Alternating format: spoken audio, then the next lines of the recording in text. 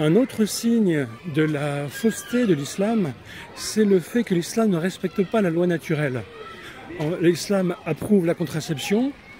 alors que la contraception est condamnée par la raison, par l'intelligence qui comprend, qui analyse quel est le sens de la, vie sexuelle. Et ce que dit l'Église catholique, au nom de la raison, pas au nom de la religion, des évangiles, c'est que euh, la, sexualité a pour but la procréation et l'éducation des enfants. Pas uniquement la procréation, souvent les médias caricaturent en faisant croire que les catholiques ne peuvent euh, s'unir sexuellement dans le mariage que pour procréer, ou dans l'intention euh, de procréer. Ce qui est vrai, mais euh, c'est vrai, mais, il faut ajouter qu'il est aussi légitime d'utiliser les périodes où la femme ne pourra pas engendrer d'enfants pour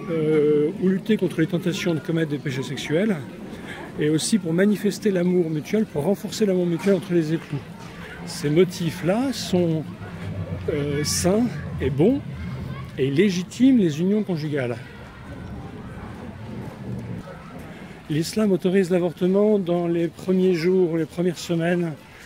ce qui est une stupidité euh, intellectuelle,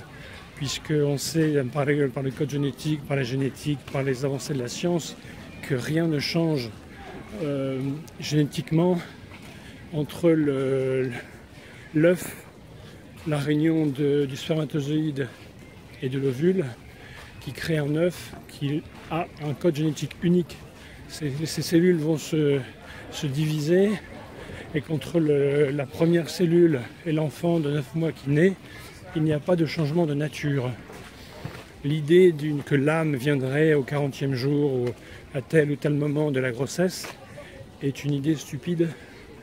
qui, euh, à mes yeux, euh, aide à comprendre à nouveau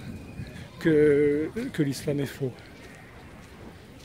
Il y a aussi dans, la morale des unions conjugales des choses qui contrarient la raison et qui sont autorisées dans l'islam.